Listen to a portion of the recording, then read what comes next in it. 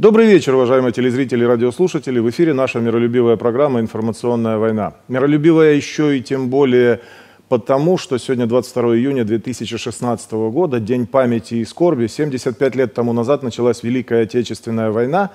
И э, сегодняшний выпуск я хочу посвятить и памяти, и скорби.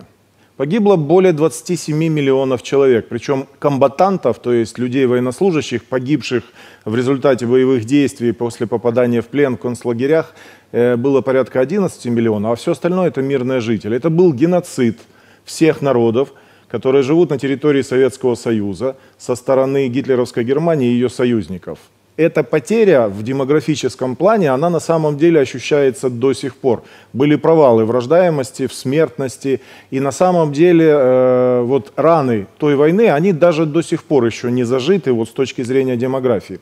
Но давайте посмотрим на память, э, что на самом деле произошло в июне 1941 года, почему гитлеровская Германия всей своей мощью обрушилась на Советский Союз, почему Советский Союз потерпел ряд поражений в 1941 году и вообще какая вот историческая картинка была в тот период, почему сложилось поражение 1941 года.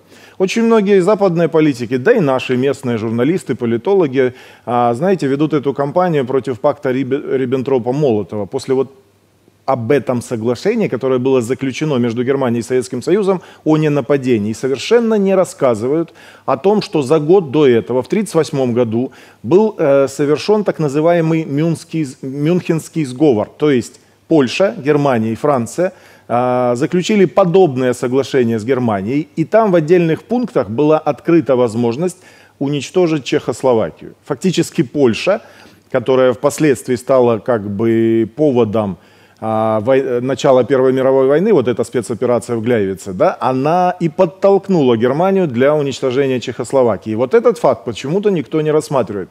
Фактически в результате политики ведущих европейских государств, Польша, понятное дело, всегда в истории, она в фарватере англичан двигалась, э, шаги Великобритании и Франции привели к тому, что Советский Союз так и не смог заручиться поддержкой Лондона – а Черчилль, э, Чемберлен, они вели такую политику, чтобы встречать делегации Советского Союза, всячески производить на них хорошее впечатление, но тем не менее уходить от основных вопросов, связанных с заключением любых соглашений. Я говорю не только военных, не только о поддержке, не только о финансировании, а ленд-лиза еще не было но любых соглашений, как потом писали английские политики, чтобы не связывать себя никакими обязательствами по отношению к Советскому Союзу. Вот эта политика, она и привела к тому, что гитлеровская Германия, сумев э, в достаточно тепличных условиях, вы видели, мы все помним, в каких условиях, как быстро э, фашистская Германия захватывала Голландию, Бельгию, Францию, и в результате этого под управлением фашистской Германии оказалась не только вся, практически вся Европа, но, не будем забывать, и весь человеческий ресурс Европы, и весь ее экономический потенциал. Фактически под властью Гитлера образовалось так называемое а, европейское сообщество 1.0. И когда Гитлер выступал с речью уже после нападения на Советский Союз, он э, в своей речи обосновал, что объединенная Европа идет в поход против большевизма. Вот здесь тоже достаточно интересный пункт, связанный с большевизмом. А, это, конечно же, повод, это не причина. Дело в том, что, например, а, вторжение Наполеона, которое очень ну, похоже на вторжение Гитлера, коммунизма и большевизма тогда еще не было, но шли под другими флагами, под другими поводами. То есть большевизм это такая пугалка, которая на самом деле ну, говорит э, внешняя причина, а внутренняя не рассказывает. Она говорит оглашаемая, а умалчиваемая заключалась в том, что Соединенные Штаты Америки, Великобритания, не вмешиваясь в войну до 1943 года, фактически э, осуществляли политику не помогать ни Германии, ни Советскому Союзу. В случае, если кто-то будет а, ослаблен и терпеть, например, поражение, оказывать поддержку ему и таким образом добиваться ситуации, при которой они будут убивать себя друг друга ну, максимальное количество времени. Так оно в конечном счете и получилось. В результате этой политики э, вмешательство в войну, э, открытие Второго фронта получилось только после Тегеранской конференции, когда уже после Сталинграда было понятно, что гитлеровская Германия ну просто ее э, обрушили, ее э, надломили, ей был переломлен хребет, и она на самом деле ну, просто уже сжималась, стягивалась, из последних сил отбивалась. Но с точки зрения военного потенциала Германия и Советский Союз, конечно, были самыми великими странами на планете на тот момент. То есть в прямой схватке против Германии воевать не мог никто. Это показал и операция «Нормандия», когда высадились объединенные англо-американские войска, и, собственно говоря, сразу же и увязли. То есть фашистская Германия, она сразу же показала уровень того, воинского искусства, которым она обладала, и она действительно на 22 июня 1941 года была самой сильнейшей армией мира. Что касается советской армии, нельзя сказать, что советская армия к войне была не готова вот эта ситуация внешняя, когда наши союзники, условно, по антигитлеровской коалиции, которые стали нашими союзниками вот далеко не сразу, хотя ленд-лиз э, был подписан и в 1941 году, и по ленд-лизу мы начали получать какие-то ресурсы в рамках вот этой политики. Давайте поддерживать и тех, и тех, и пусть они убивают друг друга как можно дольше. Но э, вот в результате вот этой внешней политики оказывается у нас внутри, в Советском Союзе, особенно в вооруженных силах, особенно в командовании, находились вот те самые троцкистские элементы.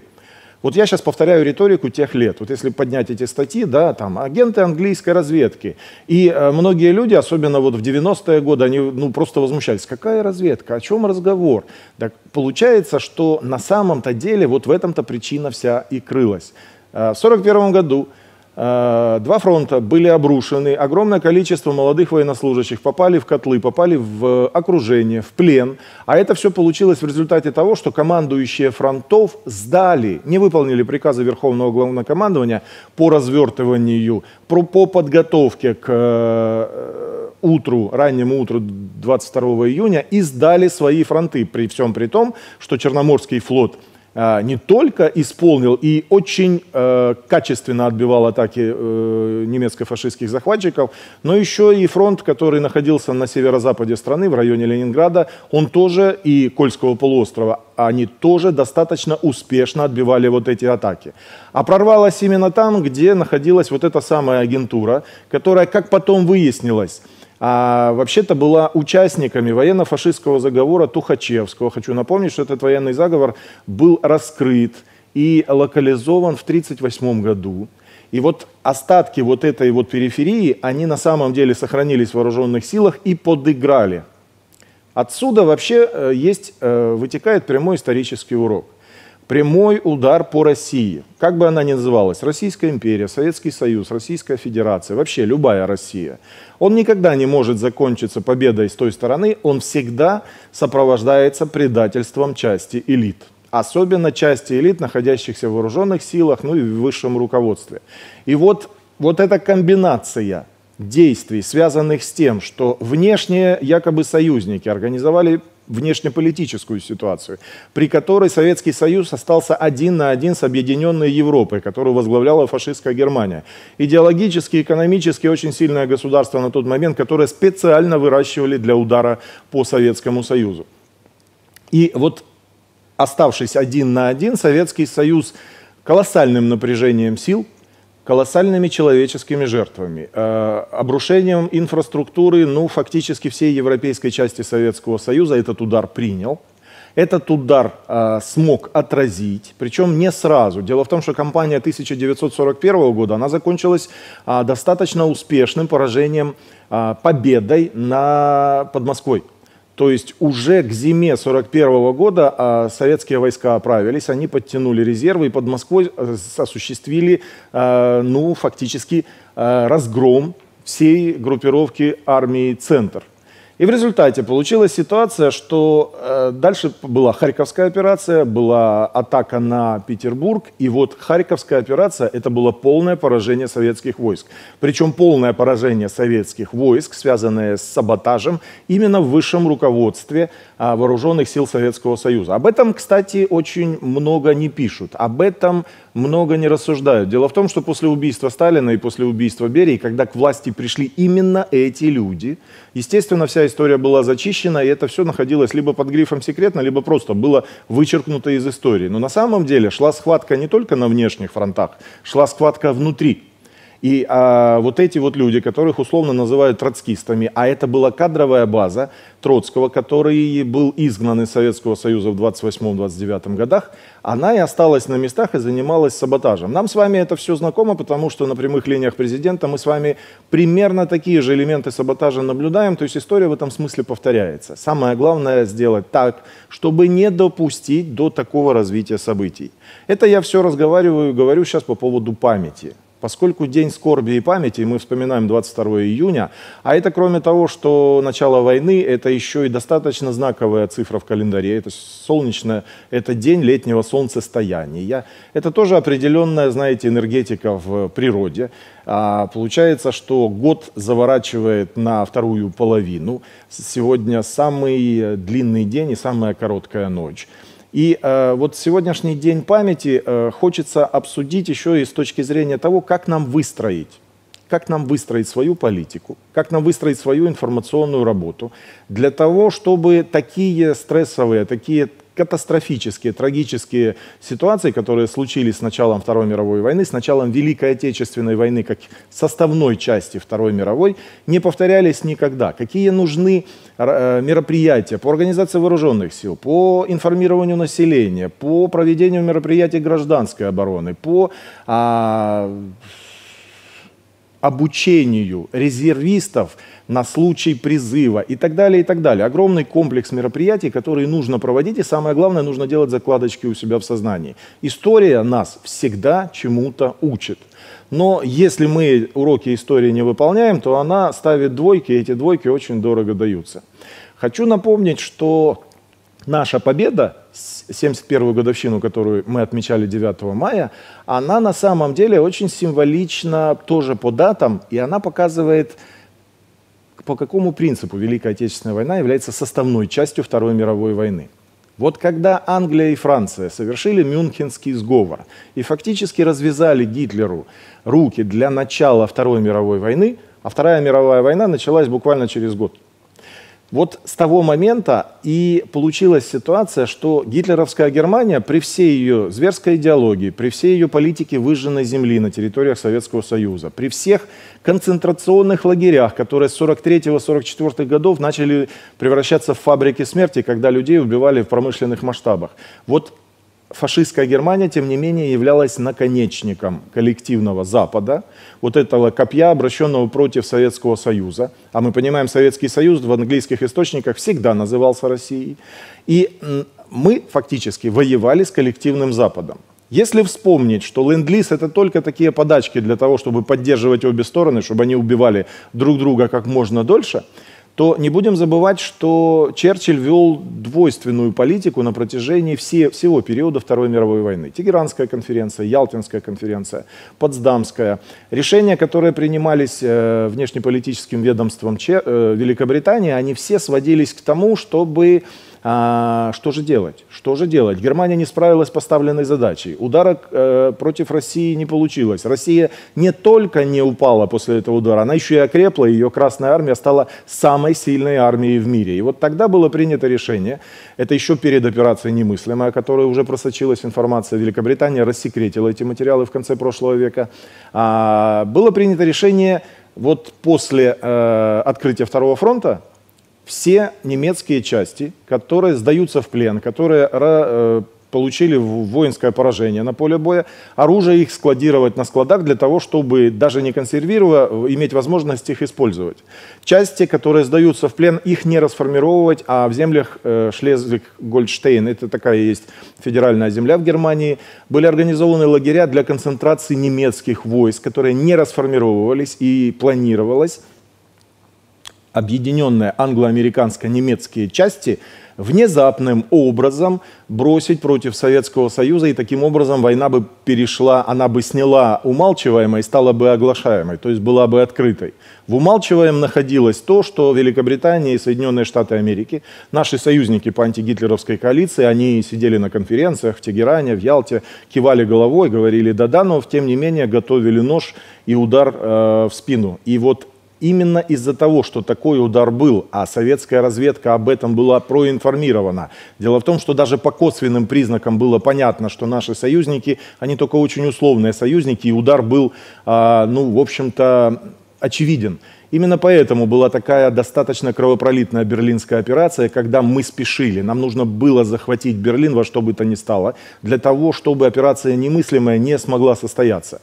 Кстати, операция берлинская, она прошла с точки зрения воинской стратегии, с точки зрения воинского искусства, боевого устава и вообще стратегии таких масштабных воен, военных операций, она прошла с колоссальным перевесом. То есть а, обычно атакующие терпят э, большие потери в живой силе, обороняющиеся наоборот. Так вот, в берлинской операции советские вооруженные силы достигли такого уровня, что количество жертв немцев и русских было один к пяти. На одного атакующего русского было пять э, потерь пять э, человек живой силы с той стороны. То есть это была беспримерная операция, которая на самом деле произвела большое впечатление на англичан и американцев, и это в значительной степени сделала невозможным проведение операции немыслимой. То есть там просто на уровне командно-штабных учений была просчитана ситуация, что, во-первых, Советский Союз проинформирован, он готовится, у него стоят резервы. И в случае, если бы было такое обострение, то они просто просчитали, что до Лиссабона бы советские войска дошли там в течение недели. И было принято решение отклонить. То есть они взяли паузу, которая вылилась конце концов, бомбардировку Хиросимы и Нагасаки в этом же году. Кроме того, там была еще такая игра, связанная с конфликтом Соединенных Штатов Америки и Великобритании. Великобритания впрямую с Японией не воевала. Она тоже Японию использовала в темную. Дело в том, что вековые связи Великобритании и Японии – это два островных государства. Особенно после опиумных войн начала XIX века они были достаточно плотными. И вот этот сговор тайный, он существовал всегда. А Соединенные Штаты Америки находились в состоянии горячей горячей войны с Японией. И вот соглашение а, на Тегеранской конференции, затем на Ялтинской, о том, что Советский Союз после разгрома фашистской Германии вступает в войну против Японии в интересах Соединенных Штатов Америки, это был аргумент для того, чтобы расколоть вот этот строй наших союзников по антигитлеровской коалиции и не дать Великобритании осуществить возможность проведения операции «Немыслимая». Вот достаточно сложная композиция всех событий, достаточно сложная композиция всех игроков, которые осуществляли свои действия на международной арене, осуществляли свои действия в управлении, причем в управлении как снаружи Советского Союза, так и внутри, она и привела к тому, что 22 июня 1941 э, года Советский Союз, а, ну, в официальных документах и в оглашении, когда было объявлено по Советскому Союзу, что фашистская Германия вероломно напала, это не значит, что мы не знали или не готовились. Мы знали, готовились, но в результате предательства части руководства вооруженных сил Советского Союза, которые являлись фактически агентурой той же фашистской Германии, но даже еще больше, фактически агентурой вот той самой Великобритании. Вспоминаем все вот эти истории об агентах английской разведки. Существовал определенный сговор. Немецкая разведка, она впрямую работала с этой агентурой. И вот этот шквальный проход, вот эти окружения и котлы, когда, ну, практически как по маслу. Группа армий «Центр» прошла э, до Смоленска в первые же дни войны, а Минск был захвачен буквально через несколько дней. Все это говорит о согласованности действий. Павлов был расстрелян, командующий э, одним из фронтов, но тем не менее урон и вот эта катастрофа, она на самом деле имела еще и колоссальный эмоциональный характер. И можно только подивиться гениальности руководства Советского Союза, которое такую вероятность закладывало. И когда осуществлялась эвакуация промышленных предприятий, огромных масс людей, скота, всего инвентаря, материальных ценностей, таких эвакуаций в истории человечества не было никогда. Но самое главное, эвакуация, логистика, там поезда, это все понятно. Но оказывается, еще задолго до начала Великой Отечественной войны на Урале, в Сибири, на Дальнем Востоке, все эти предприятия, они перемещались не в голое поле. То есть голое поле местами было, но там уже было подведено электричество, был залит э, нулевой цикл, фундаменты, уже можно было ставить станки и буквально через несколько недель начинать выпускать продукцию. Ну, достраивая коробки зданий. Вот эта предварительная работа, она была проведена. И она проводилась все 30-е годы. Причем она проводилась в достаточно жесточайших условиях секретности. Дело в том, что вот эта внутренняя борьба в Советском Союзе, когда выдающихся ученых, выдающихся инженеров, вынужденно сажали в лагеря, причем в лагеря, которые находились рядом с вот этими площадками, построенными для эвакуации и переброски заводов. Таким образом, сохраняли жизни людям, которые представляли колоссальную ценность для Советского Союза. То есть, а, вот э, обратили внимание, что сейчас часто попадаются э, публикации о том, что иранские ученые отстреливаются как как не в себя. То есть ученые некоторых других стран, их просто отстреливают как самый ну, важный интеллектуальный актив, который за деньги сразу не купишь. То есть если у тебя нет ученых-ядерщиков или нет ученых-оружейников, то сколько бы денег не было, они завтра не появятся. То есть это такой актив, который выращивается достаточно долго. И вот внутренняя борьба в Советском Союзе, когда два крыла коммунистической партии, помните, да, как в романе Чапаев, а, крестьянин спрашивает у Василия Ивановича, Василий Иванович, ты за кого, за большевиков или за коммунистов? Уже тогда люди понимали вот эту разницу, вот эти два крыла между троцкистами и большевиками. Большевики это от слова большинство. И вот эта борьба, она и приводила к тому, что основные зачинщики террора, вот этих вот условно, которые называются сталинские, а на самом деле троцкистские репрессии, после того, когда они совершили государственный переворот в 1953 году, они, собственно говоря, все свои грехи повесили на Сталина и на Берию, а сами начали зачищать историю. И таким образом мы с вами о трагедии 1941 года знаем только понаслышке, только на уровне чуйки. О трагедии 1942 года вообще даже не слышали. Только песни э, под да, нам иногда рассказывают о том, что некоторые э, части отборные, резервные, где высокие э, русские мужики, специально подготовленные для осуществления там, спецопераций, под нож клались целыми, я не знаю, подразделениями. Это тоже была согласованная политика, это тоже было такое предательство.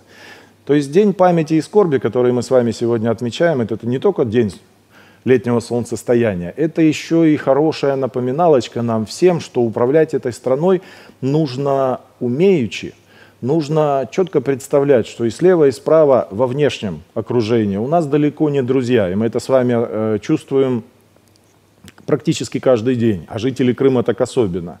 Но нужно понимать, что агентура этих не друзей, она существует и внутри, и просто держать нос по ветру, при этом обязательно помня, что понижать устойчивость управления категорически нельзя, потому что система все равно должна работать. Самое главное в управлении принцип заключается не кто, а что.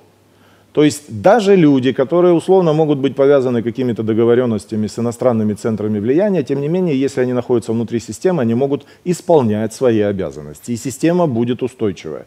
А дело в том, что даже с вечера на утро заменить кого-то это не так уж и просто. И вот это такая сложная, многоходовая ситуация, которая обязывает каждого гражданина знать историю не только на уровне Дня памяти и скорби, а еще и на уровне выработки, управленческих решений, выработки навыков в той же гражданской обороне, в той же боевой подготовке, в той же информационном обеспечении, когда а, нужно понижать панику, ни в коем случае не допускать истерик, всех э, истериков и а, изолировать и всех вот этих провокаторов. И таким образом наша страна на очередном витке истории уроки 22 июня 1941 года вынесет причем вынесет тоже на новом уровне развития, когда Российская Федерация, как правоприемник Советского Союза, а Советский Союз, в свою очередь, правоприемник Российской империи, мы сможем осуществить особую миссию России а, в истории человечества. Это проект русской глобализации. Это такое устройство жизни, в результате которого войн, подобных Великой Отечественной войне, в мире просто не будет. В эфире была информационная война. Спасибо за внимание.